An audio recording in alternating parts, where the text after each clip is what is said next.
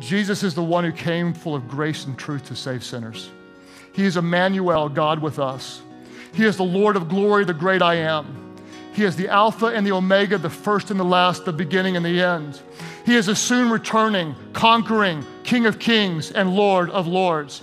He is the Word made flesh, anointed, chosen, the Son of the Most High God. He is the Good Shepherd, the living vine, the bread of life. He is my refuge. He is my shield. He is my righteousness. He is my defender, my advocate. He is sitting at the right hand of God making intercession for me.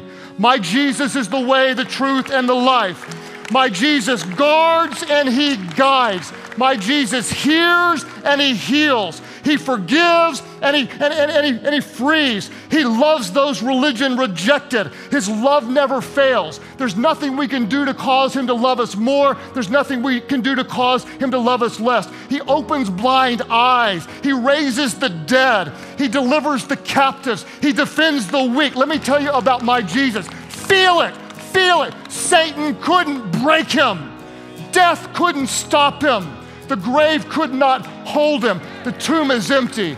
He is risen from the dead. Can we agree? Can we agree that Jesus sets captives free? The world is sick and tired of hearing about the love of Jesus. If they see him in action through his church, we might just reach out and make a difference. I'll tell you what, right now, I don't have time for tribes.